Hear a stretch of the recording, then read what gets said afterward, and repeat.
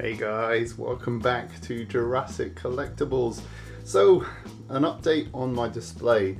Uh, if you've been following my videos, you might have seen my Iron Studios uh, T-Rex review. If you haven't seen that, link is down below. But that's probably the biggest change to my display uh, at the moment in terms of the way it looks. Um, it kind of flows nicely on from my maquettes to this wonderful uh, centerpiece in the corner. The focus of the cabinet. Now since the last build I've been quite busy and I've managed to make this. It's a flat media storage unit, essentially just a set of wooden shelves and I made them from scratch.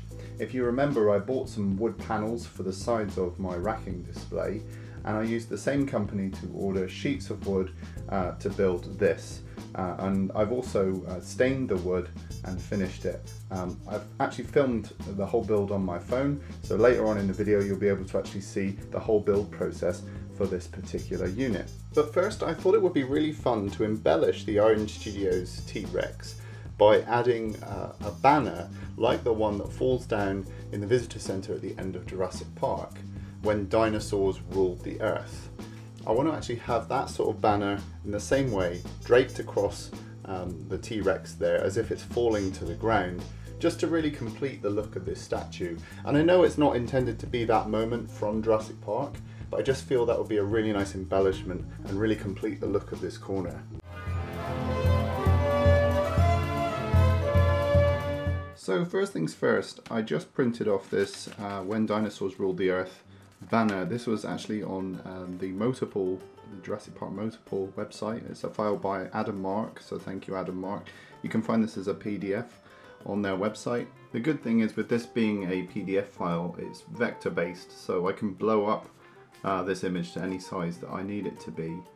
Uh, and then print it out at the correct size. I just printed it off to get a feel for the actual dimensions of the banner um, and I can see that it's about 166 millimeters wide, just the, size I printed it, and the height is about 16.5 millimeters.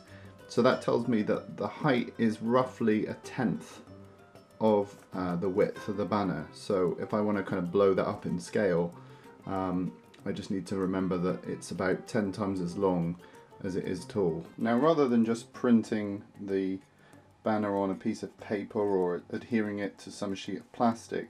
I actually want to give the banner some texture as if it's made from real material. So I dug out this old uh, piece of um, white sheet. I actually used to use it for the tabletop for my old videos. Uh, so it's kind of uh, funny that it's coming round full circle to being used for another part of my display. Um, but I noticed that I've got this kind of nice sewn uh, hem along the edge and this was actually designed so that a metal pipe could go through the middle so you could hang it up uh, for photographic purposes. But actually that serves quite nicely as the kind of right size for the banner. So I'm going to go with this and I can also see some potential maybe to thread wire through the top. Now I've measured this end, the height of what would be the banner when I cut it and uh, it's about seven and a half centimeters so I need about 75 centimetres altogether of length if we're going by that uh, one tenth of the height.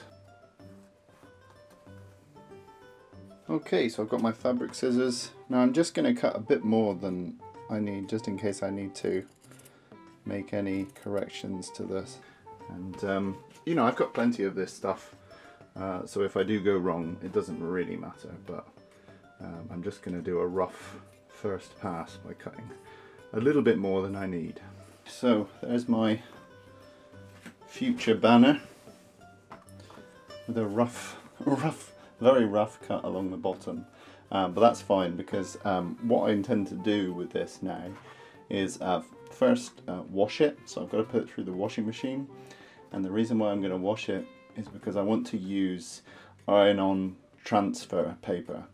Um, iron-on transfer paper allows you to put any kind of design on t-shirts, flags, banners, whatever. Um, but you need to have clean fabric to start off with and sometimes oils or dirt can get caught up uh, in the fabric over time and it actually stops the transfer paper from adhering.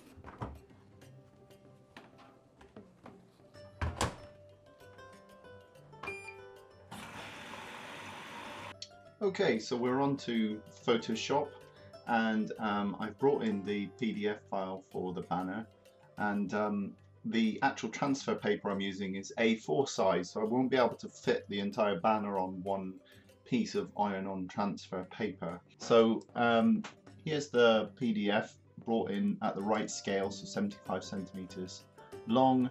Now you can see instantly that it chops off in the middle of dinosaur there. So what I'm thinking is I'm actually going to increase the canvas size to 75 centimeters in width. Just going to zoom out and I'm going to pop this in the middle roughly. Okay, so what I'm going to do here is chop the banner up into sections and I'm going to make sure that wherever I chop it there's a bit of black so that um, if I do have to overlap the iron-on transfer it's only going to be on a black part. It's not going to be on a, a really fussy area where you might notice that the, the letter isn't quite lining up because I'm going to have to iron them on in sections. So let's just take this section first. I'm going to cut that. I'm going to get a new A4 paper piece of paper. Here we go. Landscape create and this will be my first iron-on transfer and then I'm going to do dinosaurs and I'll have separate pages that I can print out and you can see I've actually managed to fit these three pieces onto one piece of A4 paper so I only need to use two pieces of transfer paper, paper in total. Um, now there's a couple things I need to do. First of all I want to eliminate uh, this black border because I'm going to be transferring onto a white piece of fabric, I won't actually need this edge. So I'm just going to fill those in with white. Uh, and then there's one last step I need to do, which is to flip the image because once I iron onto the fabric, it'll be the inverse of the image. So I need to make sure that um, I've flipped horizontally the, um, the stuff I'm going to print. So I'm going to save that and save that one and now I'm ready to print. You can use any inkjet printer to print to iron-on transfer paper. So I'm going to be using my Canon here. Okay, so there we go. A nice crisp backward dinosaur. Now I just got to print the other half. Okay, with the second half done, I think these are looking really great already. Just that combination of black, yellow and red is getting me really excited. So what I want to do now is actually trim out each of these using a craft knife. I want to be really precise because they've got to line up uh, when I iron these. Um, it's okay if I leave a little bit more white, so I'm going to sort of err on the side of it being having a little edge of white because once you actually iron that on, any white parts will just um, be essentially transparent. Um, but the actual inkjet parts are the, are the bits that will actually remain.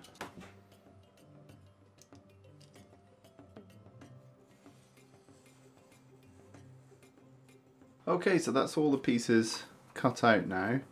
And uh, I'm thinking about what I'm actually going to do at this point. Probably what I'm going to do is masking tape these together on the backs like this so that when I actually lay them down on the piece of fabric and do the iron-on transfer I can do it all in one go and I can also ensure that they're connected exactly how I want them to connect uh, before I iron them on. So I think that's probably the way to go.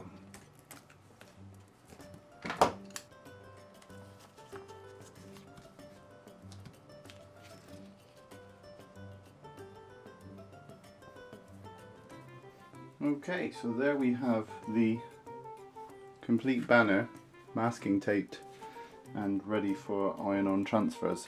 Okay, so the fabric has now come out of the washing machine and I've dried it. Uh, you can see the edges where I've cut it have become really frayed, so I'm glad that I cut a bit of excess because I can cut that off neatly uh, when I'm done with this process. And um, you'll see that I've uh, clipped it to a piece of cardboard um, that's part of the instructions when you do these iron-on transfers to put it on a hard surface. It says specifically not an ironing board. So, and I've also put a cutting mat underneath just to give it a bit more uh, surface rigidity underneath because this table is kind of a little bit padded. And then um, I've got the when the dinosaurs ruled the earth banner transfer. That will simply go face down on the fabric and I'll have to do some lining up before I iron it. And then here I've got the trusty iron. You have to make sure that the steam setting is set to off and then you have to get it really hot. So let's get going.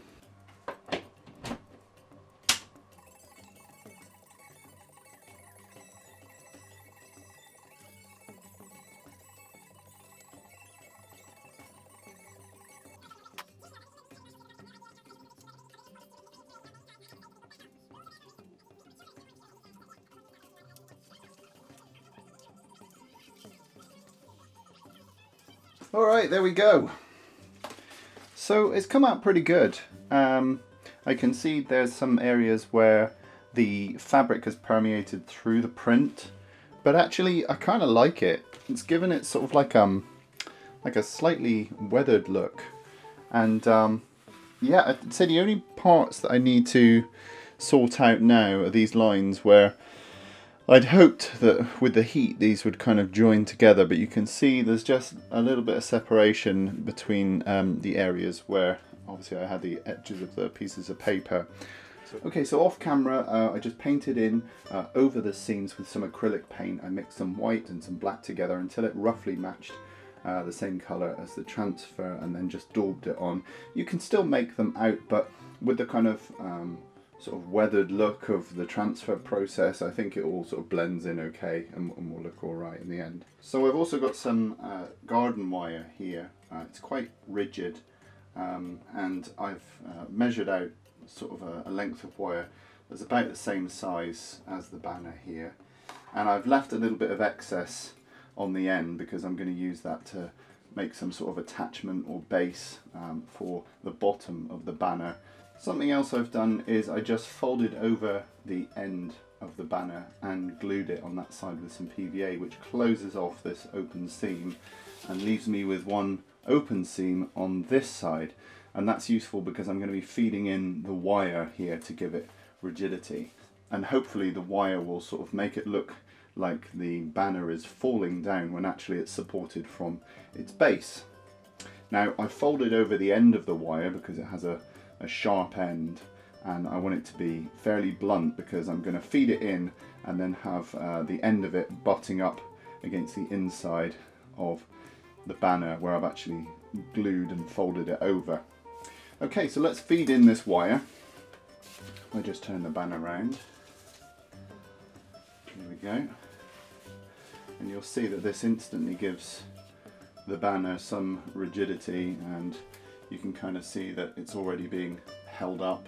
Okay, so I've printed off some reference from the film. For some reason it's come out ridiculously dark, but I can actually make out the shape uh, of the banner and I'm just going to start forming it with the wire here.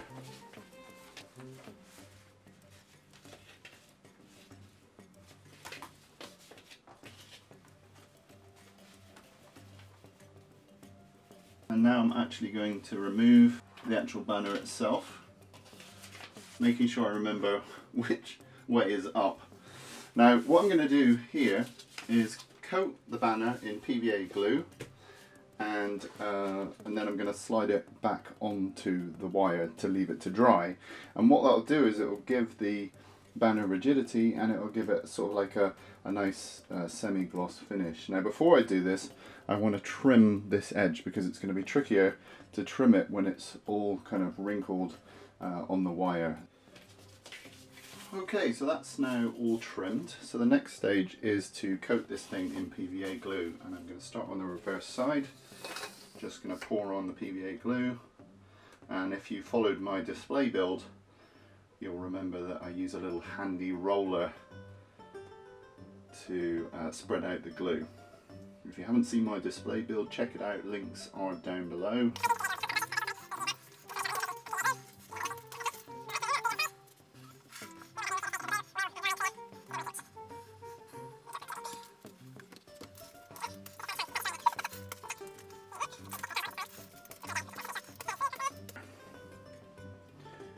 let's take the wire, remembering that we've already decided where the up is.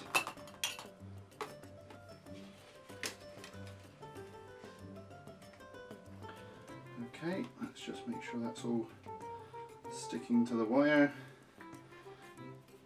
Okay, good.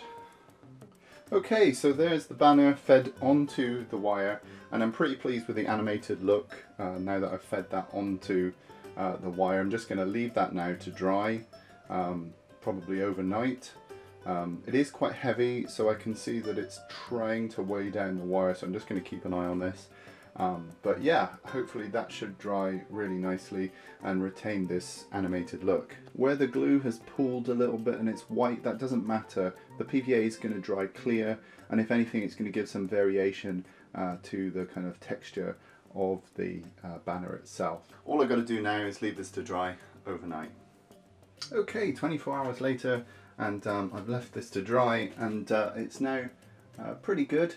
Um, it's still a little bit flexible if you really wanted to bend it, um, but that's rigid enough uh, for me to display it. And it does look like the uh, banner is actually kind of mid falling down. It's got enough creases and folds in it uh, to convince me that it looks like it's kind of floating through the air. So I'm really pleased with that. The only thing I've got to work out now is how to weigh down the base. At the moment I've just got some spare wire. I think what I might do is buy one of those 123 blocks you might have seen uh, in my earlier display videos um, that I use to weigh down my maquettes. It's just a metal block essentially uh, that's used for measuring and making right angles but they're also quite weighty. So I think I'll use one of those to weigh this down. Uh, in the meantime, I'm just going to use uh, this masking tape uh, just to roughly place it and show you how it looks with my Iron Studios Rex.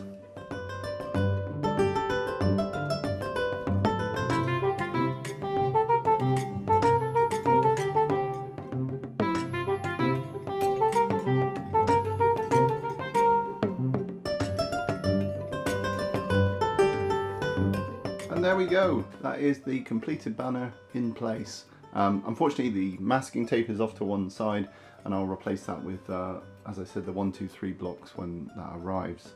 Um, it turned out pretty good. I'm pretty pleased with this. Um, the main thing I don't like is the finish. At the moment it's too glossy for my taste so I'm actually going to order some um, matte clear coat so that I can uh, actually matte down the banner and make it feel a little bit more like fabric because it has some nice surface details that are being sort of blown out by how uh, shiny it is. But um, apart from that, yeah, came out really well. I'm, I'm pleased with the form and I'm pleased with the actual transfer of the banners. The colour looks really bold. So uh, yeah, I think this is a successful project. And I hope you enjoyed uh, joining me on this journey. And next, here's a quick run through of my flat storage area and how I built it uh, from scratch.